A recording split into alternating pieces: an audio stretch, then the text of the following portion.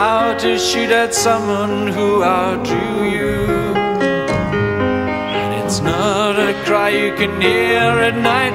It's not somebody who's seen the light. It's a cold and it's a broken